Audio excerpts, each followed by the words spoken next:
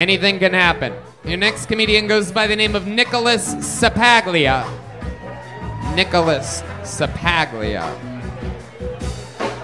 Here he comes. One more time for Nicholas, everybody.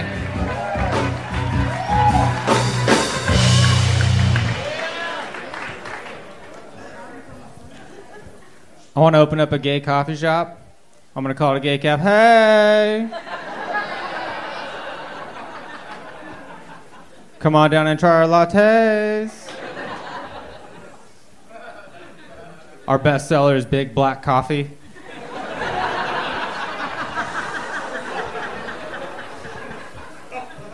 My friends make fun of me because I like to go to gay bars, but they don't get it. The regular bars don't have what I like, which is free drinks and compliments.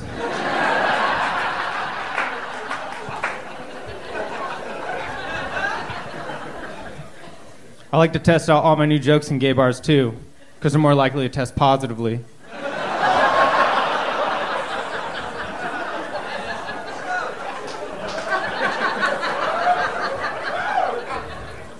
I think palm readers are full of shit, because I jack off before I get my palm read every time and they never see it coming.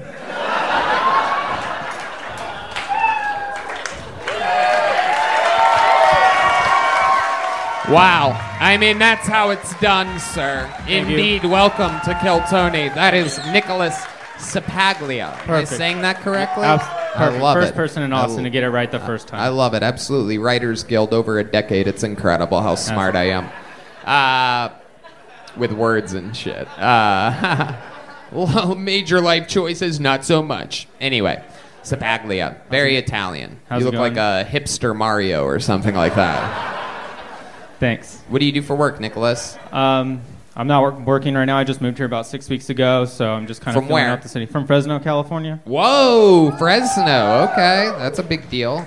Welcome to Austin. What made you move here? Um, I just over COVID, I was able to save up enough money to like take some time off from work and, you know, go try something else. I'd never left Fresno before, so I moved Right. out here and give comedy a full time shot. Cause I, How old are you? I'm 34. 34. Fucking perfect. And how long you been on stand up? Seven years. Seven years. Absolutely. Seems like it. For sure. That's great. I love that.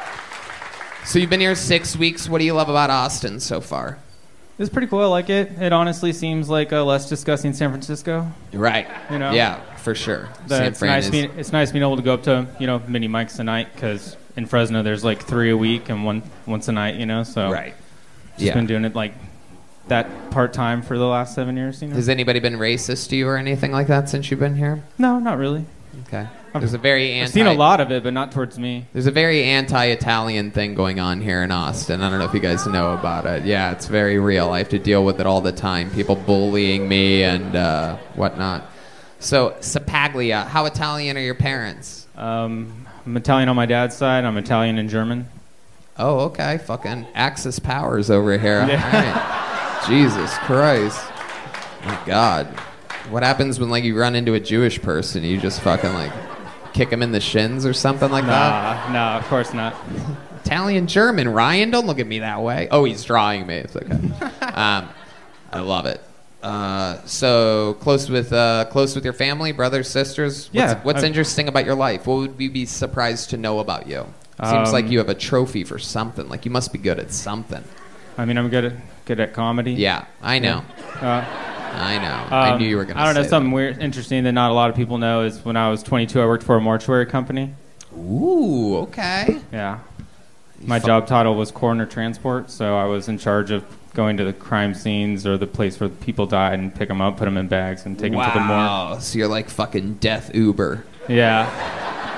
Damn, that's fucking incredible. One of the corpses ever asked from the back to suck your dick?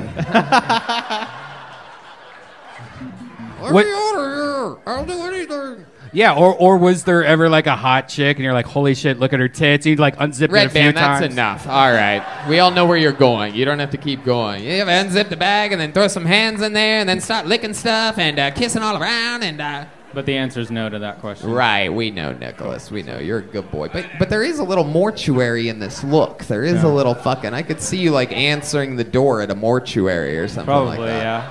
Hell yeah, I love it. What do you like to do for fun? Um, I like to go hiking and hang out with my friends and paint. Okay. What do you and your friends do? You guys ever get wild? What's like something fun that you guys do? Um, we'll go to like concerts or music festivals. Um, just hang out around the house, smoke pot, watch some funny movies. You know. Fuck dead bodies. All right. I love it. Well, Nicholas, you're a fine, fine comedian. Did you- Seven years in the game. Just moved here to Austin, Texas. Uh, I mean, you're you're in position for uh, for greatness. It must make you feel good to be the fuck out of Fresno. Yeah, it's nice. Yeah. it's What's the longest set you've ever done? Like 25 minutes? I'd love to have you on the Secret Show Thursday. There you go. Fuck yeah, cool. There it is. He just got booked. Perfect. Fuck yeah. And you have one of these coming at you from the great Boneseye, a real handmade fucking Texas leather book. Awesome. Welcome to town, my friend. I Thank think you, are in the you. exact right place. Fuck yeah, thank you. Appreciate One more it. time for Nicola, Nicholas guys. Ceppaglia. Fuck yeah. Wow, look at that. Every once in a great while, somebody's actually good at this. Pretty wild.